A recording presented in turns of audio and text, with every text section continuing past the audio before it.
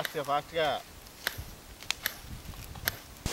ఆ రఘు జనపాట కార్యక్రమం ఎలా జరుగుతుంది రఘు? ఈ వారం నేను రాలేకపోయాను ఆఫీస్లో పని ఎక్కువ ఉండడం వల్ల. ఇంకా మూడు వేల పాంప్లెట్లు మనం అనుకున్నాం కదా పేపర్లో పెట్టి డిస్ట్రిబ్యూట్ చేయాలని. అది ఎంతవరకు వచ్చింది? ఇంకా పెండింగ్ ఉందా? లేకపోతే ఏమన్నా పేపర్లో వేసేసారా రఘు? నా రానా ఎప్పుడు చూసినా ఫోన్లో మాట్లాడుతూనే ఉంటావు. వనభోజనానికి వచ్చి కూడా. ఒక్క నిమిషం పవన్. ఏం లేదు. జనబాట కార్యక్రమం ఎలా జరుగుతుందో మా నియోజకవర్గంలోని మా టీమ్మేట్స్ ఫోన్ చేసి కనుక్కుంటున్నా. వస్తున్నా వస్తున్నా. అబ్బా వచ్చాను. కానీ అండి గబ గబ గబ. మళ్ళీ వెళ్ళాలి తొందరగా? ఇదిగో ఇది కచ్చి ఏంటి మధు ఎప్పుడు జనసేన జనబాట అంటూ ఊళ్ళో తిరుగుతావు? సండే వస్తే సరదాగా పిల్లలతో ఎంజాయ్ చేయాలి కానీ ఎందుకు అవన్నీ నీకు మనం బతికే ముప్పై నలభై సంవత్సరాలకి పిల్లాపోలతో ఉండకుండా మనకెందుకన్నా సమాజసేవ సంఘసేవ? రెడ్డప్ప జనసేన నా ఒక్కడి గురించి కాదు. భావితరాల భవిష్యత్తు కోసం తరతరాలుగా రాని మార్పు కోసం అవినీతి మరకలేని సమాజం కోసం.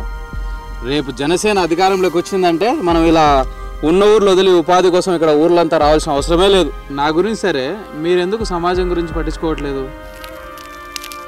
మీరు కూడా సమాజంలో భాగమే కదా. సమాజం అంటే అక్కడెక్కడో అంతరిక్షంలో లేదు కదా. మీలాగే రేపు మీ పిల్లలు కూడా దేశదిమ్మరులాగా మీ భావితరాలన్నీ ఊర్లంతా తిరగాల్సిందేనా? అసలు మీ ఉద్దేశం ఏంటి? మీ ఆశయం ఏంటి? సమాజం పైన మీ దృక్పథం ఏంటి? అది సరే. పవన్ కళ్యాణ్ ఎందుకు? ఇతర రాజకీయ నాయకులు చాలా మంది ఉన్నారు కదా. అయినా పవన్ కళ్యాణ్కి ఏ రాజకీయ అనుభవం ఉంది? ఒక ఎమ్మెల్యే అయ్యాడా? ఒక ఎంపీ అయ్యాడా? మహా అయితే మీటింగులు పెడతాడు. కవాతులు చేస్తాడు. అదే మీటింగుల్లో పూనకు వచ్చినట్టు ఓ ఊగిపోతూ ఉంటాడు. అదే కదా తెలిసింది అతనికి. పవన్ కళ్యాణే ఎందుకు అంటున్నావు కదా? జాగ్రత్తగా విను.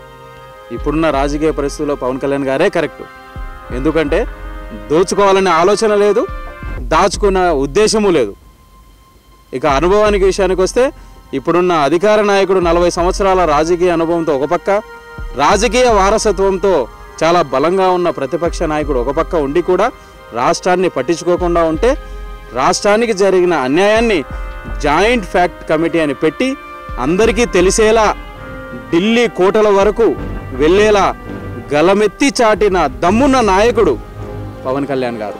ఎమ్మెల్యేలు ఎంపీలు చేయాల్సిన పనిని ఏ పదవి లేకుండా సమస్యలను తోడి పరిష్కారం చూపిస్తున్నాడు. ఇంతకంటే ఏం కావాలి? నిజమే అన్న పవన్ కళ్యాణ్కి బయట చాలా యువత మద్దతు ఉంది క్రేజ్ చాలా ఉందన్న బయట పవన్ కళ్యాణ్కి. క్రేజ్ ఏమో కానీ నా కడుపులో క్రేన్ తిప్పుతున్నట్టుంది. అయితే నేను వెళ్ళి వంట చేసి వస్తా. నేను మాట్లాడుతా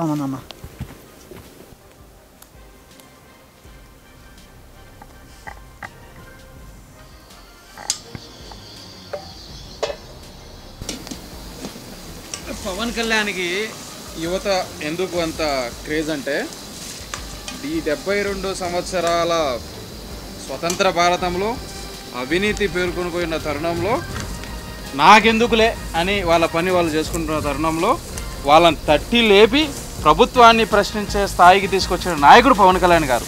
ఒక యువత ఏంటి? మహిళలు కూడా ఈరోజు వీర మహిళలై గలమెత్తి గర్జిస్తున్నారు.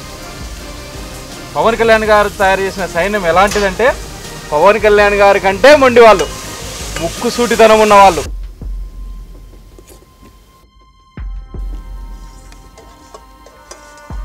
ఇవన్నీ చూస్తుంటే నాకు కూడా ఏదో ఒకటి చేయాలనిపిస్తుంది సమాజానికి. రాజేష్ కొద్దిగా జరుగు. మనం ఏం చేయగలం? నేను ఎప్పుడు ఎక్కడో కర్ణాటకలోని బెంగళూరులో ఉన్నాను. నా వల్ల ఏమవుతుంది? నేను నా సొంత ఊరు వెళ్ళి జనసేనకి ఏమైనా చేద్దామంటే ఈ ఈ రోజు పదకొండున్నరకి శేషాద్రి ట్రైన్ ఎక్కానంటే రేపు పొద్దున్న ఎనిమిది గంటలకు దిగుతాను. రెండు రోజులు నాకు జర్నీలోనే జరిగిపోతుంది. ఇంకా నేనేం చేయగలను? మనసుంటే మార్గం ఉంటుంది కార్తీక్. మనమేమి పని కట్టుకొని ఊరికి వెళ్ళాల్సిన అవసరం లేదు.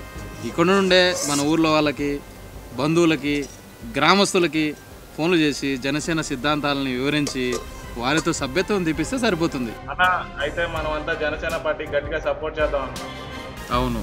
మనలాంటి వాళ్ళ అవసరం ఎంతైనా ఉంది. ఎందుకంటే రాజకీయ నాయకుల యొక్క అవినీతి ఆకాశాన్ని అంటింది. వారి యొక్క అహంకారం అంబరాన్ని దాటింది. కుల రాజకీయం కోటలు దాటింది.